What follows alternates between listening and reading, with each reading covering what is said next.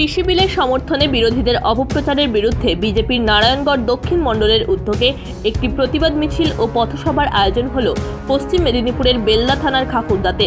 এদিন খাকুরদার দলীয় কার্যালয় থেকে শুরু করে সমস্ত খাকুরদা বাজার এই মিছিল পরিক্রমা করে। উক্ত মিছিলে বিজেপির কয়েক হাজার কর্মী সমর্থক অংশগ্রহণ করেন। মিছিল শেষে খাকুরদা বাজার সংলগ্ন স্থানে একটি পথসভার আয়োজন করা হয়। পথসভায় বিরোধীদের অপপ্রচারের বিরুদ্ধে বলিষ্ঠ বক্তব্য রাখেন উপস্থিত নেতৃত্বরা। ঝড় গেছে। সমস্ত পয়সা ওই তৃণমূলের দালালরা লুটে খেয়েছে। সাধারণ মানুষ জেনে গেছে। তাদের দৃষ্টি ঘোরানোর উদ্দেশ্যেই ওরা নতুন নাটক শুরু করেছে। Sayan মাইতির report Ananda Bangla.